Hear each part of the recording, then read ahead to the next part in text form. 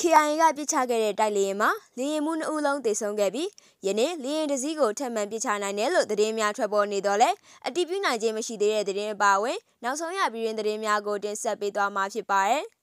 ရှမ်းမြောက်ကုခိုင်မြို့နယ်နဘက်ခါရွာသို့ယမန်နေ့ဇန်နဝါရီလ16ရက်နေ့နေ့လယ်12နာရီခန့်ကဘုံလာကျဲတဲ့စစ်ကောင်စီရဲ့တိုက်လေရင်ကိုကချင်လွတ်လပ်ရေးကြမတော် KIA ကပြစ်ချခဲ့ရာအဆိုပါတိုက်လေရင်မှာပါရှိတဲ့လေရင်မှုနှုတ်လုံးတည်ဆုံပြီးတိုက်လေရင်မှာတရုတ်နိုင်ငံတို့အမျိုးအစားဖြစ်ကြောင်းသိရှိရပါတယ်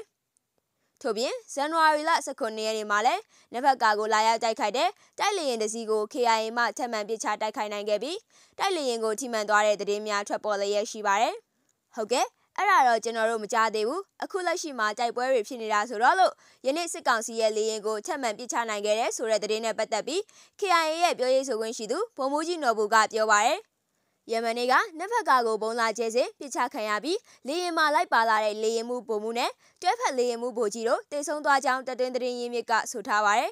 အဆိုပါတိုက်လေရင်ကနမ်ဆန်လေးတဲ့စကန်ဌာနချုပ်မှာနနက်10နာရီဝန်းကျင်မှာနက်ဖက်ကရွာသို့ဘုံကျဲဖို့ထွက်လာခြင်းဖြစ်ပြီးဘုံလာကျဲစဉ်မှာ KIA ကပြစ်ချနိုင်ခဲ့ခြင်းဖြစ်ကြောင်းသိရှိရပါတယ်။၎င်းတို့နှစ်ဦးကနမ်ဆန်လေးတဲ့ဌာနချုပ်ကိုအသစ်ပြောင်းရွှေ့လာသူများဖြစ်ပြီးရောက်ရှိနေသည်မှမကြားသေးပဲအခုလိုပြစ်ချခံရပြီးတေဆုံးခြင်းဖြစ်ကြောင်းတက်တွင်းသတင်းရင်းမြစ်ထံကသိရှိရပါတယ်။ကျွန်တော်တို့နယ်မြေရှင်းလင်းရေးမှာအခက်အခဲရှိပါတယ်။ဇန်နဝါရီလ19နေ့လယ်ထိနယ်မြေရှင်းလင်းရေးမပြီးပြတ်သေးဘူး။ ဘာလို့လဲဆိုတော့မနေ့ကတိုက်လေရင်ကစစ်ကောင်စီရဲ့တပ်စခန်းအနီးမှာကျသွားတာဆိုတော့သူတို့လည်းလုံခြုံရေးကိုလှုပ်ထားတယ်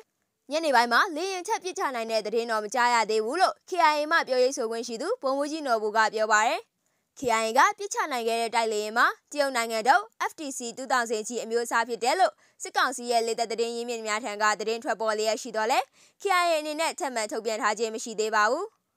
ဆက်လက်ပြီးတော့ဝက်လက်မြို့နယ်ရွာသားကြီးကျေးရွာမှာရှိတဲ့အကျန်းဖက်စစ်တပ်အထိုင်စခန်းကိုတော်လှန်ရေးတိုက်ဖွဲ့ဝင်တွေတိုက်ခိုက်တဲ့တဲ့တင်ကိုတင်ဆက်ပေးသွားမှာဖြစ်ပါတယ်။စကိုင်းတိုင်းဝက်လက်မြို့နယ်ရွာသားကြီးကျွော်အတွင်းမှာအထိုင်ကျတက်ဆွဲထားတဲ့စစ်ကောင်စီတပ်သားတွေကိုဝင်ရောက်တိုက်ခိုက်ခဲ့ရာအကြမ်းဖက်စစ်သားတွေထိခိုက်ဒေဆုံးမှုရှိနိုင်တယ်လို့ကြာညီနောင် Tiger Brother LBDF အဖွဲ့မှသတင်းရရှိပါရယ်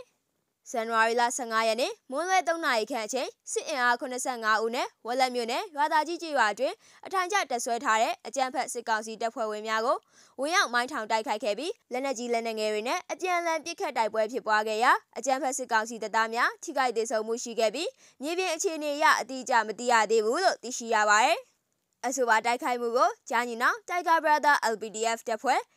ရွာသားကြီးတိုက်နယ်ပကဖာနဲ့ local PDF များပူးပေါင်းကတိုက်ခိုက်ခဲ့ခြင်းဖြစ်ပြီး ပြည်သူ့ကာကွယ်ရေးတပ်ဖွဲ့ဝင်များအထူးကိုင်းမရှိပြန်လည်ဆုတ်ခွာနိုင်ခဲ့တယ်လို့သိရှိရပါတယ်။ဆက်လက်ပြီးတော့မုံရွာမြို့နယ်ညောင်ဖြူပင်ရဲစခန်းကို၃ရက်ကြာ drone နဲ့ပုံသီးကျဲချပြီးတိုက်ခိုက်တဲ့တဲ့ရင်ကိုတင်ဆက်ပေးသွားမှာဖြစ်ပါတယ်။စကိုင်းတိုင်းမုံရွာမြို့နယ်ညောင်ဖြူပင်ရဲစခန်းကို၃ရက် drone နဲ့ပုံသီးစနလုံးကျဲချတိုက်ခိုက်ခဲ့တယ်လို့ဗန်နူလာနဲ့အဖွဲ့သားများအဖွဲ့ကသတင်းထုတ်ပြန်ထားပါတယ်။ ဇန်နဝါရီလ12ရက်နေ့မှ14ရက်နေ့ထိ3ရက်ကြာအကြမ်းဖက်စစ်သားနဲ့ရဲတွေတက်ဆွဲထားတဲ့ညောင်ပြူပင်ရဲစခန်းကို drone နဲ့ပုံသည်12လုံးအုံပြုပြီးကျဲချတိုက်ခိုက်ခဲ့တယ်လို့သိရှိရပါတယ်။တိုက်ခိုက်ခံရတဲ့အကြမ်းဖက်စစ်သားနဲ့ရဲ10ထက်မနည်းသေဆုံးခဲ့တယ်လို့ထုတ်ပြန်ချက်မှာဖော်ပြထားပါတယ်။ပုံတီချတဲ့အချိန်ဝရုံးသုံးကားပြေးကြတာကို control မှဗီဒီယိုမှတ်တမ်းမှာတွေ့ရှိရပါတယ်။ drone ပြန်ခေါ်ပြီးချိန်မှာလည်းစက်ခများဘက်ကလက်နက်ကြီးများနဲ့ကောင်တာပြန်ခဲ့တယ်။ကျွန်တော်ရေပေါ်တဲ့ပြည်သူလူထုမြစ်တာများကြောင့်ထိခိုက်မှုမရှိဘဲဆုတ်ခွာနိုင်ခဲ့တယ်။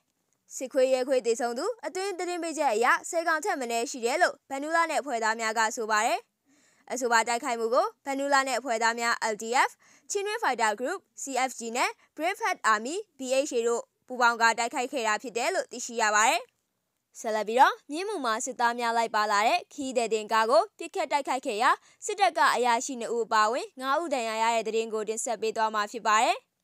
စကိုင်းတိုင်းမြင်းမှုမြို့နယ်ဝမ်းပြေကျွာအနီးစစ်သားများလိုက်ပါလာတဲ့ခီးတဲ့တင်ကားကိုပြစ်ခတ်တိုက်ခိုက်ခဲ့ရာစစ်တပ်ကအရာရှိ2ဦးအပါ9ဦးဒဏ်ရာရရှိသွားတယ်လို့ Dog Killers People Defense Force မြင်းမှု DKPDF တပ်ဖွဲ့ကထုတ်ပြန်ထားပါတယ် မြင်းမှုမျိုးကနေမုံရဘက်ထွက်လာတဲ့စစ်ကောင်စီတပ်သားများလိုက်ပါလာတဲ့ခီးတဲ့တင်ကားနှစ်စီးကိုဒီကနေ့မနက်6နာရီခန့်မှာမြင်းမှုမျိုးနဲ့ဝမ်းပြေကြီးရွာအနီးတာစီစစ်စေတာရက်မပေးတာကြောင့်ပြစ်ခတ်တိုက်ခိုက်ခဲ့ရာအကြံဖက်စစ်တပ်ကအရာရှိ2ဦးအပြင်းထန်ဒဏ်ရာရရှိသွားပြီးတပ်သား3ဦးထိခိုက်ဒဏ်ရာများရရှိခဲ့တယ်လို့သိရှိရပါတယ် အဲ့ဒီတိုက်ခိုက်မှုကိုမြင်းမှုမျိုးနဲ့အခွန်ကောက်အဖွဲ့ Dog Killers People Defense ဖို့မြင်းမှု DKPDF MMU နဲ့ DBBF MMU စတဲ့မဟာမိတ်တပ်ဖွဲ့များပူးပေါင်းဆောင်ရွက်ခဲ့တာဖြစ်တယ်လို့သိရှိရပါတယ်။ဆက်လက်ပြီးတော့ဝက်လက်မြို့နယ်ဟန်လင်းပြည်မြို့ဟောင်းမှာတက်ဆွဲထားတဲ့စစ်ကောင်စီတပ်သားများကို drone နဲ့ပုံကျဲပြီးလက်နက်ကြီးနဲ့ပစ်ခတ်တိုက်ခိုက်တဲ့တဲ့ရင်ကိုတင်ဆက်ပေးသွားမှာဖြစ်ပါတယ်။ စကိုင်းတိုင်းဝက်လက်မြို့နယ်ဟန်လင်းပြည်မြို့ဟောင်းမှာရှိတဲ့ကျန်းဖက်စစ်ကောင်စီတပ်သားများကို drone နဲ့ပုံကျဲပြီးလက်နက်ကြီးနဲ့ပစ်ခတ်တိုက်ခိုက်ခဲ့ကြောင်းပြည်သူ့အစေခံတော်လှန်ရေးတပ်ဖွဲ့မှတာဝန်ရှိသူတို့ကပြောပါတယ်။ဇန်နဝါရီလ14ရက်နေ့မွန်းလွဲပိုင်းမှာဝက်လက်မြို့နယ်ဟန်လင်းပြူမြို့ဟောင်းမှာတက်ဆွဲထားတဲ့အကြမ်းဖက်စစ်ကောင်စီတပ်သားများကိုတော်လှန်ရေးတပ်ဖွဲ့များက drone နဲ့ဘုံတိချတိုက်ခိုက်ခဲ့ပြီးရင်းနေညပိုင်းမှာလည်းလက်နက်ကြီးများနဲ့ပစ်ခတ်တိုက်ခိုက်ခဲ့ကြောင်းသိရှိရပါတယ်။ အဲ့ဒီမှာကခံမှန်းချိန်90လောက်တော့ရှိအောင်ပဲ။ drone နဲ့ချတာကညနေ4နာရီခွဲလောက်မှချတာလက်လုံး 2 kg နှလုံးချခဲ့တယ်။လက်နက်ကြီးနဲ့ကည8နာရီလောက်မှပစ်ခဲ့တယ်။လက်နက်ကြီးနဲ့ကပြောင်းချောက်ပြောင်းနဲ့အလုံး40လောက်ပစ်ခဲ့တာ။အဲ့ဒါကတော့ပုံမှန်လိုပဲတစ်ခါပြည့်ရင်အဲ့လောက်ကတော့ပစ်ခဲ့တယ်။ခွေးတွေအထီးကိုက်ကတော့မသိရသေးဘူးဟန်လင်းကရွာခါထားတာဆိုတော့သတင်းထောက်လို့ကမရဘူးဖြစ်နေတယ် စစ်တပ်ပဲရှိတော့ရွာတွေကပြည်သူတွေအကုန်ထွက်ပြေးနေရတယ်ကျွန်တော်တို့အဖွဲ့ကလည်းလက်နက်ကြီးနဲ့မိတဲ့နေရာကနေပဲပစ်တာဆိုတော့လက်နက်ငယ်လောက်နဲ့ပဲပြန်ပစ်တာမထိရောက်ဘူးရဲဘော်တွေအားလုံးဘေးကင်းပါတယ်လို့ပြည်သူအစေခံတော်လှန်ရေးတပ်ဦးမှတာဝန်ရှိသူတို့ကပြောကြားပါတယ်အဆိုပါတိုက်ခိုက်မှုကိုပြည်သူအစေခံတော်လှန်ရေးတပ်ဖွဲ့ဟန်လင်းတိုက်နယ်ပကဖာနဲ့ရကြေးပကဖာများပူးပေါင်းကလှုပ်ဆောင်ခဲ့ကြောင်းသိရှိရပါတယ် ဆက်လက်ပြီးတော့ရေးစကြိုရှိစစ်တပ်စစ်စေးရေးဂိတ်နဲ့ရင်းမာပင်မြို့ပေါ်မှာရှိတဲ့တရားရုံးစေယုံဂိတ်ရဲစခန်းတို့ကို drone နဲ့ပုံကျဲတိုက်ခိုက်တဲ့တဲ့ရင်ကိုတင်ဆက်ပေးသွားမှာဖြစ်ပါတယ်။မကွေးတိုင်းရေးစကြိုမှာရှိတဲ့စစ်တပ်စစ်စေးရေးဂိတ်နဲ့စကိုင်းတိုင်းရင်းမာပင်မြို့ပေါ်မှာရှိတဲ့တရားရုံးစေယုံဂိတ်ရဲစခန်းတို့ကို drone နဲ့ပုံကျဲတိုက်ခိုက်ခဲ့ကြောင်းမြင်းကြံခရိုင်အမတ်1တရင်27 Revolution Force မှတာဝန်ရှိသူတို့ကပြောပါတယ်။ ဇန်နဝါရီလ12ရက်နေ့မှာရေစကြိုမြို့နယ်ကြောက်လေကားကျေးရွာရှိအကြမ်းဖက်စစ်တပ်ရဲ့စစ်ဆေးရေးဂိတ်ကိုတော်လှန်ရေးတပ်ဖွဲ့များက drone နဲ့ဘုံသီးနှလုံးကျဲချတိုက်ခိုက်ခဲ့ကြောင်းရင်းတိုက်ခိုက်မှုအတွင်းအကြမ်းဖက်စစ်ကောင်စီတပ်သားများစုဝေးရာနေရာနှစ်နေရာကိုကြားရောက်ပောက်ကွဲသောကြောင့်စစ်သား2ဦးပြင်းထန်စွာဒဏ်ရာရရှိကြောင်းသိရှိရပါတယ်။ဇန်နဝါရီလ23ရက်နေ့မှာရင်းမာပင်မြို့ပေါ်မှာရှိတဲ့အကြမ်းဖက်စစ်တပ်တပ်ဆွဲထားတဲ့တရားရုံးစစ်ရုံဂိတ်ပါဝါနဲ့ရဲစခန်းတို့ကို drone နဲ့ဘုံသီးလေးလုံးကျဲချတိုက်ခိုက်ခဲ့ကြောင်း ရင်းတိုက်ခိုက်မှုအတွင်းတရားရုံး၌တဆွဲထားသောစစ်ကောင်စီတပ်သား2ဦးထိခိုက်ဒဏ်ရာရရှိခဲ့ပြီးကျန်နေရာများတွင်ထိခိုက်မှုရှိမရှိစုံစမ်းနေဆဲဖြစ်ကြောင်းသိရှိရပါသည်။အဆိုပါတိုက်ခိုက်မှုကိုမြင်းကြံခရိုင်အမတ်တေတရင်27 Revolution Force, Raban Underground Revolution Force, ရင်းမပင်ခရိုင်တရင်3456ပခုတ်ကူခရိုင် local တပ်ပေါင်းစုအဖွဲ့တို့ကပူးပေါင်းလှုပ်ဆောင်ခဲ့ကြောင်းသိရှိရပါသည်။ ဆက်လက်ပြီးတော့မြန်မာနိုင်ငံရှမ်းပြည်နယ်အထူးဒေသတင်မှာစစ်ကောင်စီနဲ့လက်အောက်ခံကိုကန်အဖွဲ့ကထုတ်ပြန်ထားတဲ့အမိန့်စစ်အုပ်ချုပ်ရေးများအားလုံးကိုဖျက်သိမ်းကြောင်း MNDAA ကကြေညာတဲ့သတင်းကိုတင်ဆက်ပေးသွားမှာဖြစ်ပါတယ်။ရှမ်းပြည်နယ်မြောက်ပိုင်းလောက်ကိုင်းအပါအဝင်ရှမ်းပြည်နယ်အထူးဒေသတင်မှာစစ်ကောင်စီနဲ့လက်အောက်ခံကိုကန်အဖွဲ့ကထုတ်ပြန်ထားတဲ့အမိန့်စစ်အုပ်ချုပ်ရေးများအားလုံးကို MNDAA ကဖျက်သိမ်းလိုက်ကြောင်းဇန်နဝါရီလ14ရက်နေ့မှာကြေညာကြောင်းသိရှိရပါတယ်။ ယမန်နေမှာစ၍ဆီအာနာသိန်းအဖွဲ့နဲ့ကိုကန်အုပ်ချုပ်ရေးအဖွဲ့တို့ကအထူးဒေသတည်းအတွင်းထုတ်ပြန်ထားတဲ့နိုင်ငံရေးအမိန့်အုပ်ချုပ်ရေးအမိန့်များနဲ့စစ်အုပ်ချုပ်ရေးအလုံးကိုဖျက်သိမ်းလိုက်ပြီးအထူးဒေသတည်းရဲ့မူလဥပဒေနဲ့နည်းဥပဒေများကိုအပြည့်အဝပြန်လည်ကျင့်သုံးလိုက်ကြောင်းအကယ်၍မရှင်းလင်းသည်များရှိပါကဒေသသက်ဆိုင်ရာအစိုးရဌာနများမှစုံစမ်းမေးမြန်းနိုင်ကြောင်း MNDAA ကယမန်နေ့ကတရားဝင်ထုတ်ပြန်ကြေညာလိုက်ပါတယ် ဒါကတော့စစ်ကောင်စီလက်ခံသည်ဖြစ်စေလက်မခံသည်ဖြစ်စေအတိအမတ်ပြုသည်ဖြစ်စေမပြုသည်ဖြစ်စေလွတ်လပ်တဲ့ကိုပိုင်အုပ်ချုပ်ခွင့်ရအစိုးရတရက်ပေါ်ထွန်းလာတာပါပဲတမိုင်းဝင်နေရဲ့တမိုင်းဝင်အဖြစ်ပြပါလို့တရုတ်မြန်မာနယ်စပ်စစ်ရေးတရင်ရင်းမြစ်ကပြောဆိုပါရယ်